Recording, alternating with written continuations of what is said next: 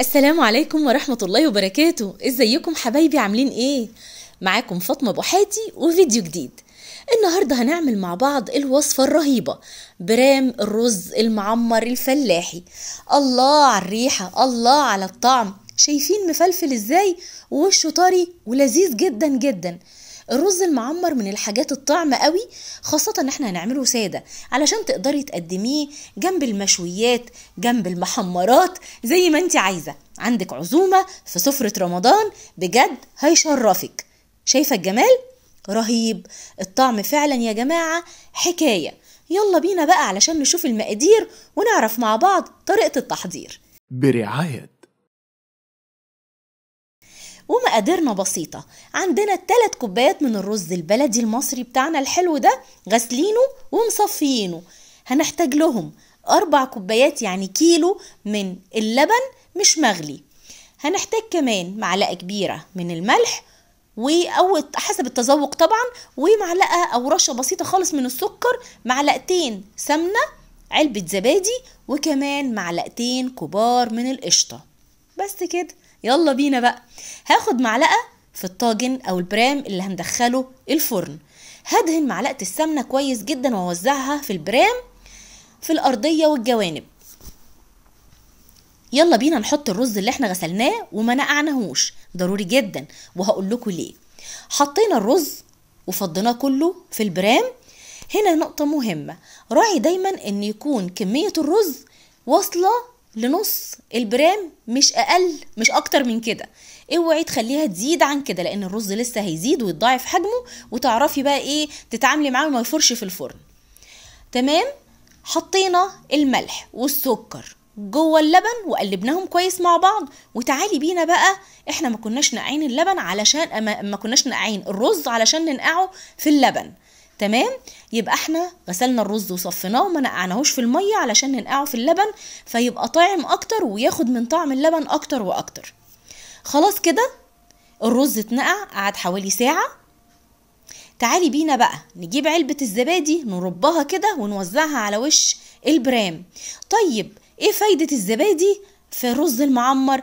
هيطري الوش بتاعه ويدي طعم زي بتاع الرز الفلاحي زمان لأنهم كانوا زمان بيعملوه بالقشطة الفلاحي اللي بتيجي من على طواجن اللبن. ودي طبعا طعمها مختلف عن القشطة اللي إحنا بناكلها وبنجيبها من عند اللبان. فهنعوضها بعلبة الزبادي دي. هاتي بقى القشطة اللي متوفرة عندك سواء انت بتحوشيها من على وش اللبن أو شارياها من اللبان وابتدي وزعيها فوق البرام. تمام؟ حتت صغننة كده على مسافات. علشان تحمر معاكي الوش وتديله ريحة وطعم إيه مفحفح. هنجيب معلقتين من السمنة أو الزبدة اللي متوفر عندك وبتدي برضو وزعيهم على الوش بالشكل ده.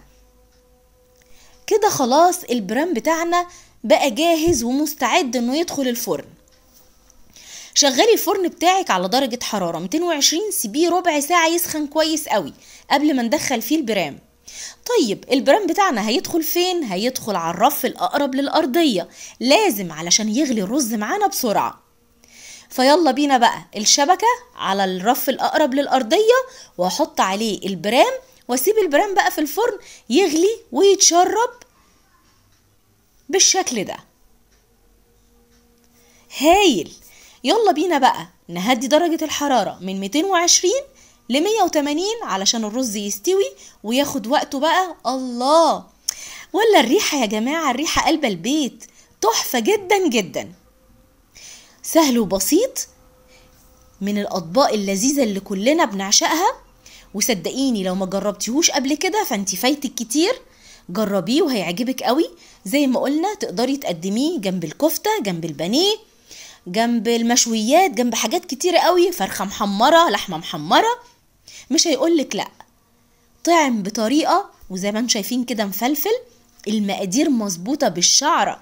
عايزاكم تجربوه وتقولوا لي رأيكم إيه. شايفين؟ بجد رهيب. ووشه طري مش ناشف مش هتلاقي رز ناشف على الوش ولا أي حاجة خالص. امشي على الطريقة مظبوط والمقادير مظبوط وهيطلع معاكي عشرة على عشرة. دي كانت وصفتنا النهارده وده كان طبقنا النهارده. يا رب يكون عجبكم الرز المعمر الفلاحي. جربوه قولوا لي رأيكم فيه إيه.